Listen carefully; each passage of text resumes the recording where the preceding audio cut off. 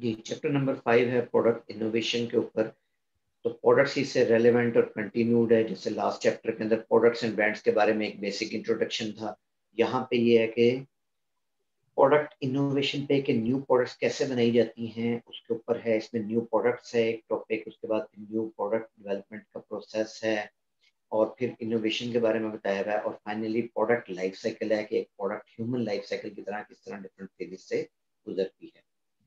तो इस चैप्टर का ओपनिंग केस इंटरेस्टिंग है, इस लिहाज से कि वो डायनेमिकली जो कंज्यूमर अप्लाइंसेज और इलेक्ट्रॉनिक्स हैं तो एक्चुअली ऑलमोस्ट डिफरेंट इंडस्ट्रीज़ हैं होम अप्लाइंसेज भी और कंज्यूमर इलेक्ट्रॉनिक्स भी।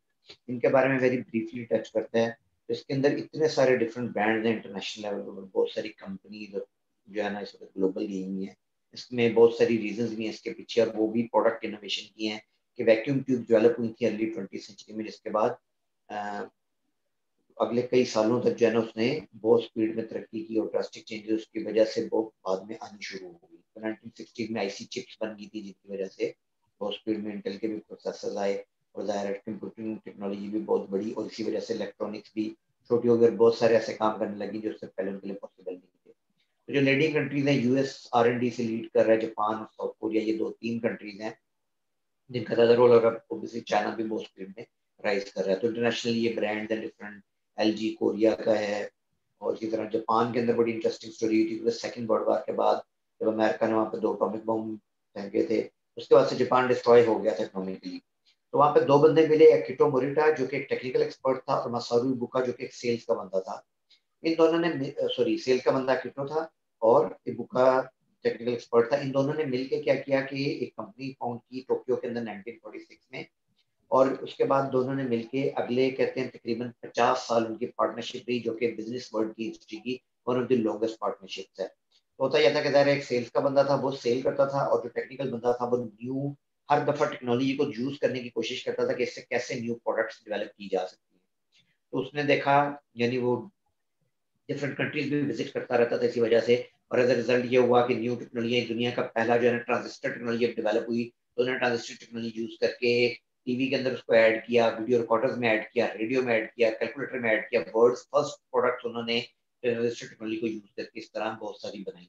इसकी वजह से सोनी एक ग्लोबल ब्रांड नेम बना इवेंचुअली और आज भी उसका एक बहुत स्ट्रॉन्ग नाम है। सैमसंग वगैरह बाज कंपनीज़ और उससे भी स्लाइटली आगे निकली तो इस तरह यानी डिफरेंट इलेक्ट्रॉनिक्स के अंदर भी वेरियस डोमेन्स हैं। होम अप्लाइंसेस की भी बहुत बड़ी इंडस्ट्री है। इसमें LG वगैरह और इस तरह के मल्टीपल डिफरेंट ब्रांड्स हैं। फिर ये जो टेक्नोलॉजी इंडस्ट्री है, ये भी एक बाद से सेपरेट डोमेन बन गया लेकिन लैपटॉप और इलेक्ट्रॉनिक बाद जगहों पर ग्रे जोन आ रहे हैं, क्योंकि इवन अप्लाइंसेस के अंदर अभी हो रहा है कि स्मार्ट अप्लाइंसेस आ रही हैं तो टेक्नोलॉजी मर्ज हो रही है आपस में, और इसी वजह से न्यू प्रोडक्ट्स बन रही है न्यू इंडस्ट्रीज़ डेवलप हो रही तो इस तरह की बहुत सारी चीज़ें न्यू प्रोडक्ट की डेफिनेशन है? इसके अंदर आप लोग सबसे इंटरेस्टिंग ये जान ले कि आपसे चंद साल अगर हम पीछे चले हैं तो उस जमाने में क्या होता था कि बहुत कम न्यू प्रोडक्ट्स बनती थी। यानी आज से सौ सौ, दो सौ साल पीछे जाएँ तो आपको पूरी पूरी ज़िंदगी में हार्डली कोई एक न्यू प्रोडक्ट सुनने को मिलती थी। लेकिन जितनी अब चंद सालों में आ रहे हैं तो डेली बेसिस पर दुनिया के अंदर न्यू प्रोडक्ट्स आ रही हैं और पेस बहुत तेज होता जा रहा है। डिजिटली भी बहुत सारी बन रही है और दूसरे तरीके से भी बहुत सारी बन रही है, बल्कि प्रोडक्ट्स के यानी लाइफ टाइम स्पेंड बहुत कम होते जा रहे हैं। तो फिर सबसे इंटरेस्टिंग चीज़ है ये कि अगर आप लोग अब कभी अपने दादा, दादी, नाना, नानी के साथ बैठे और उनको पूछें कि उनके ज़माने में क्या प्रोडक्ट्स यूज़ होती थी और क्या ब्रांड यूज़ होते तो आप मतलब सरप्राइज़ होंगे कि आज से चालीस पचास साल पहले की लाइफ में आपको हार्डली कोई ब्रांड मिलेगा या कोई प्रोडक्ट मिलेगी। वही नीड्स है कंज्यूमर्स की, जो उस वक्त भी फुलफिल होती थी एंटरटेनमेंट की नीड उस वक्त भी थी एजुकेशन की नीड उस वक्त भी थी, ठीक है, लोगों की जो सोशल नीड है वो उस वक्त भी थी। लेकिन ये नीड उस जमाने में कैसे फुलफिल हो रही थी और आज कैसे फुलफिल हो रही है मतलब कि कैसे इतने कम टाइम के अंदर इतना बड़ा जो है ना डिफरेंस आया, उसका आपको ना आइडिया होना शुरू हो जाता है। तो एक ये डिस्कशन करें, यदि आज से नाइनटीन और अगर आप वाक्य सुनेंगे तो आपको हैरत होगी। नाइनटीन एटीज में एक टेलीफोन कनेक्शन इवन नाइन्टीज में, वो दो दो साल के बाद लगता था कि आपको रिक्वेस्ट देनी पड़ती थी और तब जाके आपको लैंडलाइन एक कनेक्शन मिलता था। मोबाइल फ़ोन नॉन एग्जिस्टेंट थे पाकिस्तान में अर्ली नाइनटीज में, आप कह रहे हैं हार्डली कहीं सुनने में मिलता था इसके बाद मोबाइल हालाँकि 1977 की डेवलप हुई थी और यानी एक फ़ोन इतनी देर से मिलता था, किसी से बातचीत करनी होती थी तो इतना डिफ़िकल्ट होता था क्योंकि कनेक्शन उस वक्त इतने कॉमन नहीं थे और इवन यहाँ तक होता था किसी दूसरे के घर जाके आपको फ़ोन पर बात करनी पड़ रही है। दूसरे मुल्क कॉल करना इतना डिफ़िकल्ट था कि बात करने के लिए आपको महीनों बाद का वेट करना पड़ता था। आधा आधा एक एक घंटा लग जाता था कि आप दूसरे कंट्री के लोगों से, क्योंकि अगेन वो इतना बड़ा नेटवर्क नहीं था कि कनेक्ट कर सके। और अब देखें इंटरनेट के आने के बाद से आज हर दूसरा शख्स हर गली में आवाज़ लग रही होती है फ्री सिम ले फ्री सिम ले जाए और उसकी बेस के ऊपर लोग कितनी जल्दी, कितनी क्विकली जो है ना वो इंस्टेंट कनेक्टिविटी के ऊपर आ गए हैं और आप मोबाइल कॉल भी रैंडम स्ट्रेंजर्स से लेके कहाँ तक जो है ना कितनी स्पीड में हो सकती है, कितनी जल्दी आप दुनिया आपस में कनेक्ट हो रही है, ये पॉइंट है उसके अंदर। तो चीज़ें यानी इवॉल्व हुई हैं टीवी चैनल देख लें तो वो कहाँ थे, पाकिस्तान में नाइन्टीज तक एक चैनल होता था, वो भी रात ग्यारह बजे बंद हो जाता तो सुबह छः बजे खुलता था। तो चीज़ें किस तरह चेंज हो रही है, ये टेलीफोन किस तरह डायलअप जो है ना, उसके अंदर बाकायदा आपको एक एक नंबर के लिए घुमाना पड़ता था। ठीक है, अपने दादा, दादी से पूछे पेरेंट्स से, किस तरह वो स्लेट के ऊपर लिख लिख के जो है ना, उस वक्त तालीम हासिल करते थे और ये दवात, कलम दवात किस तरह यूज़ होती थी बार बार उसको हर एक दो लफज के बाद आपको इंक में डिप करना पड़ता था, तब जाके आपका काम चल रहा होता था। और उससे हम लोग किस कदर कन्वीनियंस लाइफ पे आ गए हैं कि अब हम डिजिटली लिख रहे हैं मोबाइल फ़ोन से लोग असाइनमेंट्स बना रहे हैं और कॉपी पेस्ट कितना कन्वीनियंट हो गया एज अपोज टू ये कि उस जमाने में कितना डिफ़िकल्ट था ओरिजिनल कंटेंट जनरेट करना। तो लोग यानी इस तरह अशिया इवॉल्व हो रही हैं, सदियों से लोग एक मुशक्क़त की लाइफ गुजार रहे थे और अब कन्वीनियंस की तरफ़ कितनी स्पीड में दुनिया जा रही है। तो अब न्यू प्रोडक्ट्स क्यों बनाई जाती हैं? इसकी बहुत सारी रीजंस हैं। वन ऑफ़ द रीजंस ये भी है कि लोगों के टेस्ट इवॉल्व होते रहते हैं। इस वजह से भी प्लस कंपनीज़ को भी बहुत बेनिफिट होता है और आजकल के दौर में इनोवेशन इतनी आ रही है कि जो कंपनीज़ इनोवेट नहीं करती, वो इवेंचुअली मार्केट से आउट हो जाती है। वीडियो गेम्स के अंदर भी ये हुआ। अटारी एक वीडियो गेम डेवलपमेंट कंपनी थी और बड़े फ़ेमस और ब्रांड्स आते कोडेक किसी जमाने में ये जो मैनुअल जो डी एस एल आर वगैरह कैमराज आ गए हैं, जो दुनिया के पहले यानी कैमराज यूज़ हो रहे थे उस वक्त ये डिजिटल कैमराज नहीं आए थे तो उनके अंदर रील लगती होती थी फ़िल्म बेस्ड कैमराज होते थे। तो उस जमाने में फ़िल्म इंडस्ट्री बहुत बड़ी थी और कोडेक उसका एक लीडिंग ब्रांड था, लेकिन एटीन एटी एट की कंपनी है। और अच्छी खासी सेल उसके नाइनटीन नाइनटी में फिफ्टीन मिलियन होती थी, जो अपनी पीक पर टू थाउज़ेंड तक पहुँचा। लेकिन उसके बाद जब डिजिटल एरा आया है और कोडेक लेट से नहीं इतना ज़्यादा चेंज हुआ डिजिटल के अंदर मूव किया तो दस साल बाद उसकी सिचुएशन इतनी पुअर होगी कि उसका मार्केट शेयर ओवरऑल इंडस्ट्री भी ट्रिम होगी, सिर्फ़ टेन परसेंट रहेगी। इतनी स्पीड में सिर्फ़ दस सालों के अंदर। और 2012 में कोडेक ने फ़ाइल बैंक्रप्सी के लिए फ़ाइल कर दिया। तो इसी तरह ब्लैकबेरी का भी यही है कि इतना बड़ा ब्रांड किसी जमाने में बन गया था, लेकिन उस हद तक इनोवेट नहीं किया तो लैक ऑफ़ इनोवेशन ने उसको नीचे ही रखा। बाकी न्यू प्रोडक्ट्स की टाइप्स क्या होती हैं, इसके बहुत सारे डिफरेंट तरीके हैं। ये चंद एक वर्ड देखिएगा product improvements adding to existing line new product line new to the world बाकी कॉस्ट रिडक्शन और ये एक रिसर्च कंडक्ट हुई थी 1997 में। इसके हिसाब से ना, जो एक्चुअल न्यू प्रोडक्ट्स है ना, वो कह लें कि hardly new to the world product वो टेन परसेंट होती है। बाकी क्या होता है कि एक कंपनी वो कोई न्यू प्रोडक्ट के अंदर मूव कर जाती है। उस कंपनी ने तो प्रोडक्ट नहीं बनाई हुई थी। लेकिन दूसरी कंपनी बना चुकी हैं, ये कंपनी बनाती है, वो उस कंपनी के लिए न्यू प्रोडक्ट होती है और किसी हद तक उसके कस्टमर्स के लिए भी होता है। और अभी पहले मोबाइल फ़ोन में था, वो लैपटॉप में हो गया फॉर एग्ज़ाम्पल तो ये न्यू प्रोडक्ट एग्ज़ाम्पल बनती है कि कंपनी के लिए वो न्यू प्रोडक्ट है, लेकिन दुनिया के लिए वो न्यू प्रोडक्ट नहीं है। इसी तरह एग्जिस्टिंग लाइन के अंदर एक्सपेंशन कर रही होती है बहुत ज़्यादा न्यू प्रोडक्ट लाइन के अंदर मूव कर रही होती है वगैरह वगैरह। बाकी ज़्यादातर प्रोडक्ट इंप्रूवमेंट हो होती है थर्टी फोर परसेंट तो एक प्रोडक्ट जब कंपनी बना लेती है, फिर उसी को स्लाइट इंप्रूवमेंट्स वगैरह करती रहती है, ताकि मजीद कंज्यूमर फ्रेंडली भी बनाया जाए और माइनर इनोवेशन भी आए। तो new to the world products actual होती हैं, जो पूरी दुनिया के लिए वाकई एक ब्रेक थ्रू प्रोडक्ट हो। वरना न्यू प्रोडक्ट लाइन यानी जो जिस प्रोडक्ट लाइन में कंपनी उसके अलावा किसी और प्रोडक्ट लाइन में मूव कर जाती है।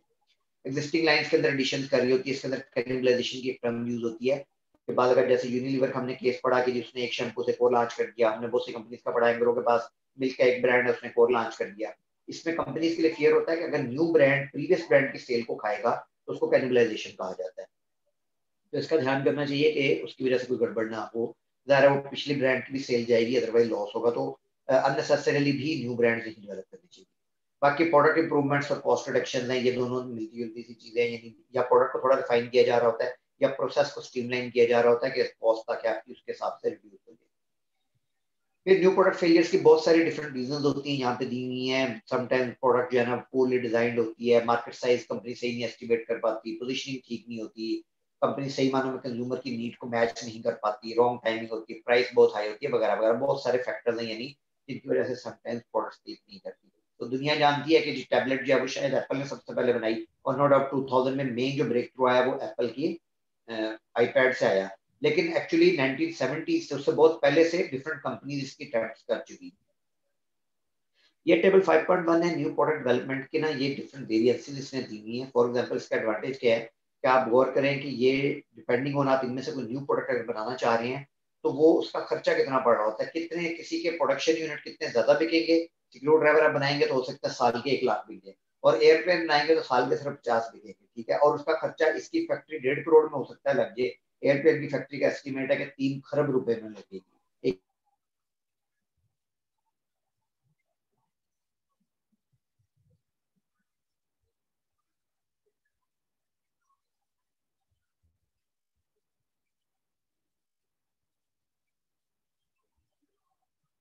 चीज़ है। और ज़ाहिर डिपेंडिंग ऑन कितनी कम्प्लेक्स आपकी प्रोडक्ट है, उसी के हिसाब से फिर आप उसका प्रोडक्ट डेवलपमेंट प्रोसेस भी बन रहा होता है। इसके बाद सेरेंडिपिटी की टर्म है। सेरेंडिपिटी कहते हैं बाय चांस कोकरेसिव इवेंट्स यूजुअली जो पॉजिटिव चीज़ के लिए होती है, उसको सेरेंडिपिटी कहते हैं। तो अक्सर लोग ये समझते हैं कि जो इनोवेशन होती है ना, ये शायद बाय लक या बाय चांस होती है। फॉर एग्जांपल अमूमन लोग ये जूम करते हैं कार्टून वगैरह में दिखाया जाता है कि बंदे के जहन में अचानक एक आइडिया आया, एक बल्ब बनाया, और उसने उससे जो है ना वो प्रोडक्ट न्यू का आइडिया आया और न्यू प्रोडक्ट बन गई। आल्दो हिस्ट्री में ऐसा हुआ है, लेकिन कम दफ़ा। ज़्यादातर ये हुआ है कि जो लोग एफर्ट कर रहे हैं, कहते हैं लक फेवर्स द प्रिपेयर्ड जो लोग तैयार होते हैं, ढूंढ रहे होते हैं एफर्ट कर रहे होते हैं ना, उन्होंने ही न्यू प्रोडक्ट डेवलप किए हैं। लोग हाँ ये हुआ है कि कोशिश किसी और चीज़ की कर रहा था डेवलप को थोड़ी उससे डिफरेंट चीज़ होगी जो उसका मेन एम नहीं था। तो एक्सरे मशीन वगैरह के बारे में भी यही आता है। और इस तरह की मतलब पेंसिलिन का बड़ा मशहूर है कि जी, वो जो है ना बाई चांस होगी। माइक्रोवेव ओवन भी इसी तरह डेवलप हुआ। लेकिन ये सारी की सारी प्रोडक्ट्स एफर्ट करने का इवज मिली थॉमस एडिसन के बारे में आता है फ़ेमस इन्वेंटर है कि उसने इलेक्ट्रिसिटी लाइट बल्ब बनाया था आठ सौ साल पहले। लेकिन जिन, जिस बात का लोगों को नहीं पता, उसने अकेले नहीं बनाया था। उसके पास उसने हमेशा अट्ठाईस से तीस लोग अमूमन इंटरनीज रखे होते थे यंग इंजीनियर वगैरह, और उनके साथ सुबह शाम दस बारह घंटे लगा रहता था कि न्यू प्रोडक्ट्स डेवलप करने की कोशिश करें। तभी वन थाउज़ेंड इन्वेंशन उसके नाम से आज मशहूर है। तो इसमें जो दो बंदे बाद में मशहूर हुए इसके जो इंटरनीज थे, उनमें से एक हेनरी फोर्ड था, जिसने बाद में फोर्ड गाड़ी लॉन्च की, जो one of the famous American brand बना। और निकोलास टेस्ला था, जिसकी अगेन इलेक्ट्रिसिटी के ऊपर बहुत ज़्यादा जो है ना, वो वर्किंग आपको सुनने में मिलेगी। बहुत से लोग बड़े फ़ैन है उसके भी। मतलब बहुत फ़ेमस बंदे, वो जमाने में उसके लिए काम कर रहे थे। न्यू प्रोडक्ट डेवलपमेंट प्रोसेस के ना डिफरेंट स्टेजेस हैं। बाज बुक्स में आपको आठ स्टेप्स भी मिल जाएँगे बाजों में पाँच भी मिलेंगे। ब्रॉडली मकसद ये है कि new products all of a sudden नहीं डेवलप होती, बल्कि आप डिफरेंट आइडियाज़ फेजेस से गुजरते हैं। मसलन आइडिया जनरेशन एक फ़ेज़ है। कि आप आइडियाज़ डेवलप करते हैं, फिर उनको स्क्रीन आउट करते हैं तो ये सेल्फ टाइम लेता है, फिर कंसेप्ट डेवलप करते हैं, फिर मार्केटिंग स्टडी और बिज़नेस प्लान आप देखते हैं, फिर आप प्रोटोटाइप बनाते हैं, फिर टेस्ट मार्केटिंग करते हैं, और उसके बाद फिर आप कमर्शलाइजेशन के ऊपर मूव करते होते हैं। गूगल के बारे में आता है कि इसमें बहुत हैवी से जो इतनी सारी न्यू प्रोडक्ट बनाई जी मेल गूगल मैप एंड्रॉइड तो ये भी इसके अंदर काफ़ी जो है ना एनकरेजिंग कल्चर है न्यू प्रोडक्ट्स इनोवेशन के ऊपर। तो फ़र्स्ट फ़ेज़ में आइडिया जनरेशन में क्या होता है कि न्यू आइडियाज़ आपने डेवलप करने होते हैं। इसमें कंपनी के पास इंटरनल सोर्सेज भी होती है, बल्कि कंपनी अपनी एम्प्लॉइज से भी आईबीएम के बारे में आता इनोवेशन जैम वगैरह कंडक्ट करते हैं, अपने एम्प्लॉइज को कहते हैं कि आप न्यू आइडियाज़ लेके आए। और उसके बिलमुकाबिल समटाइम एक्सटर्नल सोर्सेज जिसमें खास तौर पे कस्टमर नंबर वन और सम टाइम जो रिटेलर वगैरह होते हैं, वो भी जो कस्टमर के करीब होते हैं, उनसे भी बहुत अच्छा फीडबैक मिल जाता है। और आपको आइडियाज़ मिल जाते हैं। तो systematic search of new product जो है वो आइडिया जनरेशन के ला रही होती है। तो थ्री एम कंपनी के बारे में मशहूर है, उसने पोस्टेड नोट्स वगैरह बनाए थे। हालाँकि वो एक्चुअली पोस्टेड नोट नहीं ढूंढ रहे थे, बल्कि डेवलपर जो है वो कुछ और काम कर रहा था बुक में उससे जो है ना इवेंचुअली वी ग्लू का आइडिया जो है ना वो पोस्टेड नोट में इतनी सक्सेसफुल प्रोडक्ट बन गई। ठीक है तो ये डिफरेंट सोर्सेज हैं कहूट फॉर एग्जांपल एक एक्टिविटी अब ये भी इंटरेस्टिंग है कि गेमिंग को किस तरह एजुकेशन पर्पस के लिए यूज़ किया जा रहा है। तो कहूट के ऊपर फन एक्टिविटीज़ होती हैं कि आप लर्निंग जो है ना आपके लिए विद बेस भी सिस्टम है, उसके बावजूद वो काइंड ऑफ़ गेमिंग भी आपको फील हो रही होती है। रिवर्स इंजीनियरिंग इसमें एक इंटरेस्टिंग टर्मिनोलॉजी है। रिवर्स इंजीनियरिंग क्या होती है? इसको किसी हद तक लीगल समझा जाता है कि आप किसी एक कंपनी ने प्रोडक्ट बनाई तो उस पूरी प्रोडक्ट को ना आप बदकत रिप अपार्ट करके पार्ट बाय पार्ट देख रहे होते हैं और फिर आप उसको बैक ट्रेस करके उसको डिफरेंट प्रोडक्ट बना लेते हैं बल्कि ये भी बड़ी इंटरेस्टिंग डिस्कशन हो सकती है कि माइक्रोसॉफ्ट ने जो फ़ेमस हुआ था अपने डॉस और विंडोज़ से शुरू में इसका सॉफ्टवेयर जिससे ये कंप्यूटर चलते थे, उसके पीछे भी अगर आप लोग देखेंगे तो बैक एंड पे जो रूट आपको मिलेगी, वो आपको ये पता चलेगा कि एक्चुअली वो वर्ल्ड फ़र्स्ट जो लैंग्वेज थी, वो इसने बिल गेट्स ने नहीं, बल्कि गैरी किल्डाल ने डेवलप की। वो बढ़ के लंबी स्टोरी है बैकग्राउंड कि गैरी किल्डाल ने बनाई थी आईबीएम ने उस जमाने में कंप्यूटर बना लिया था आईबीएम को बहुत जल्दी थी कि हम उसको स्प्रेड करें। तो आईबीएम बिल गेट्स के पास आया। बिल गेट्स ने साफ़ बता दिया कि जी माइक्रोसॉफ्ट के पास कैपेसिटी नहीं है कि वो सॉफ्टवेयर बनाए। लेकिन उसने बिल गेट्स ने हिंट दे दिया कि जी गैरी किल्डाल ने बनाई हुई है, आप उससे मिलने। आईबीएम वाले गैरी से मिलने गए गैरी घर पे नहीं था। सुना कहीं निकला हुआ था। तो आईबीएम वाले इम्पेशेंट थे, वो गैरी से मुलाकात नहीं हुई, वो दोबारा बिल गेट्स के पास आए। तो बिल गेट्स को लालच आया, उसने कह दिया कि ठीक है माइक्रोसॉफ्ट बना लेगी।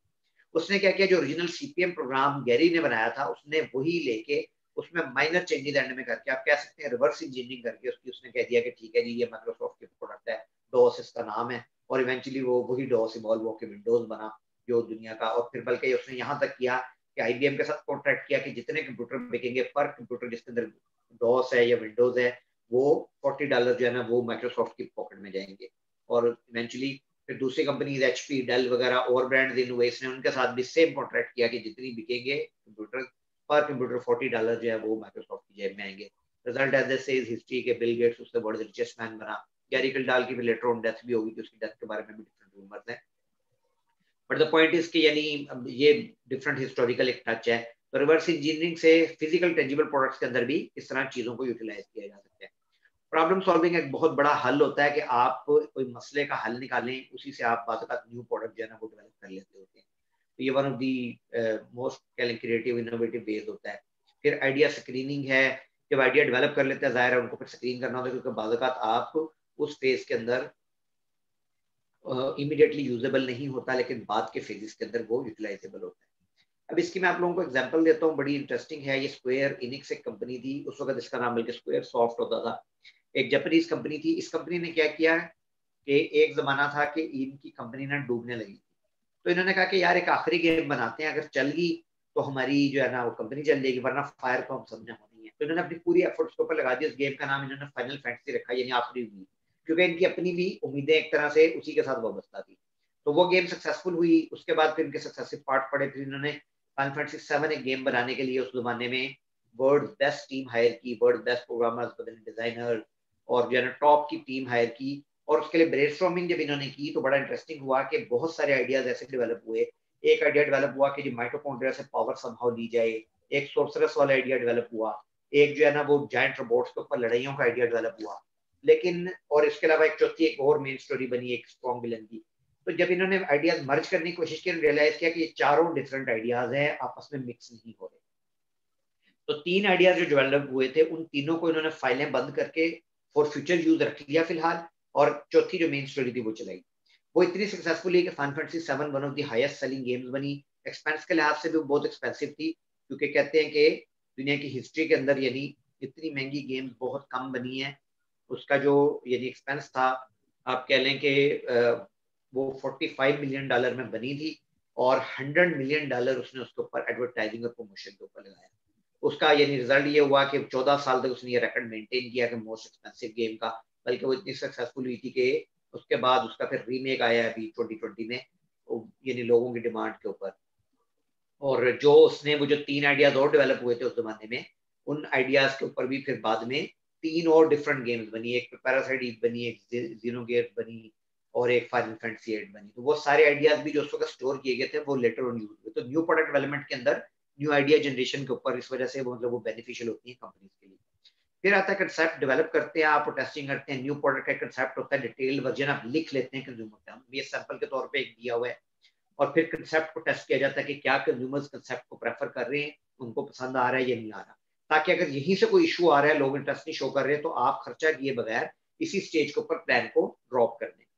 अदरवाइज़ फिर मार्केटिंग स्टडी डेवलप की जाती है कि किस तरह ये किन कंज्यूमर्स के लिए बनाएँगे टारगेट मार्केट क्या होगी कंपनी को इतना खर्चा बनेगा, कितनी सेल होगी तो कंपनी के लिए प्रॉफिट फिर आप प्रोटोटाइप स्टेज के ऊपर आते हैं। प्रोटोटाइप क्या होगा कि आप बल्क प्रोडक्शन करने से पहले कि पूरा प्लांट या फैक्ट्री बनाए, आप पहले एक दो सैंपल बनाते हैं। वर्केबल प्रोटोटाइप होता है जो प्रेफरेबली वैसे प्रोटोटाइप्स की भी टाइप्स है एक लुक लाइक प्रोटोटाइप होता है। पहले आप शेप में देखते हैं, सिर्फ़ वो सस्ता होता है, जल्दी बन जाता है। फिर आप एक्चुअल वर्किंग प्रोटोटाइप बनाते हैं वर्क लाइक प्रोटोटाइप ताकि आपको ये आइडिया हो कि मेन प्रोडक्ट किस तरह की होगी और कैसे काम करेगी। ठीक है तो ये डिफरेंट जो है ना क्वालिटी टेस्टिंग हो रही होती है मसलन लुई बिटोन के, उसमें आता है कि मल्टीपल टाइम जो है ना उनके ऑटोमेटिक मशीन लगी जो पाँच पाँच हज़ार दफ़ा एक पर्स की जिप ऑन ऑफ़ जो है ना उसको बार बार खोल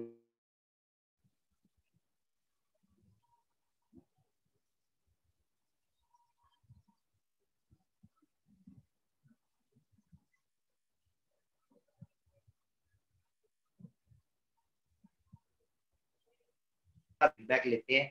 बिल्ड करते हैं टेस्ट करते हैं फीडबैक लेते हैं रिवाइज करते हैं। इसमें one of the best examples आती है डायसन एक ब्रिटिशर है, उसकी इंटरेस्टिंग स्टोरी है कि उसने नाइनटीन में जब वो खुद यंग था, उसने उस वक्त कोशिश की कि किसी तरह बेस्ट वैक्यूम मिले। तो मार्केट से सबसे महँगा भी वैक्यूम लेके आया ना, उसके अंदर भी उस जमाने में प्रॉब्लम थी, वो ठीक क्लीनिंग में और उसकी सफ़ाई बड़ा हैसल थी।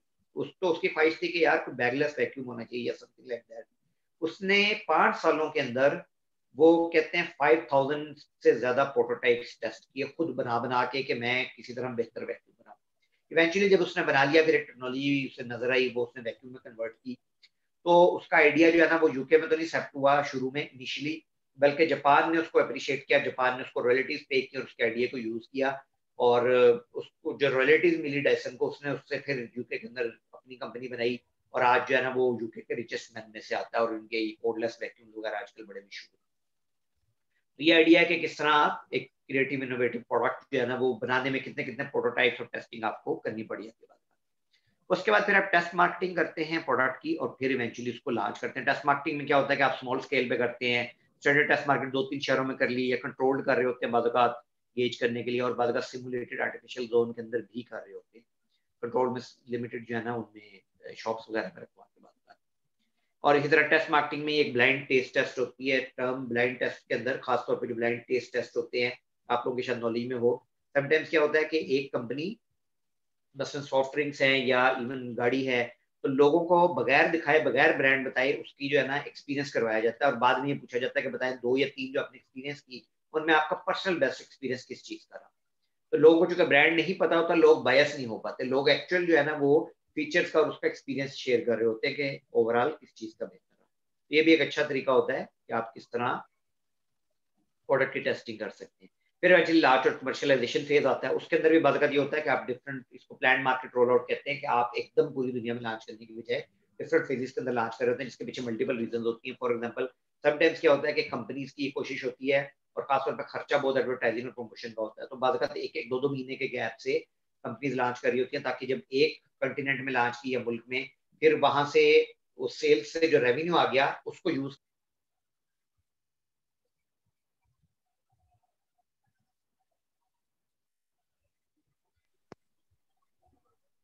डिफरेंट फेजेस यूज़ किए जा रहे होते हैं ब्रांड मार्केट रोल आउट के अंदर। इसके बाद हम लोग इनोवेशन के ऊपर आते हैं। इनोवेशन में क्या होता है? कंटिन्यूस इनोवेशन यानी आप प्रोडक्ट्स को माइनरली जो है ना इम्प्रूव कर रहे होते हैं। इनोवेशन के अंदर ये बहुत इंटरेस्टिंग टर्म है। और एक होती है डिसकंटिन्यूस इनोवेशन मसलन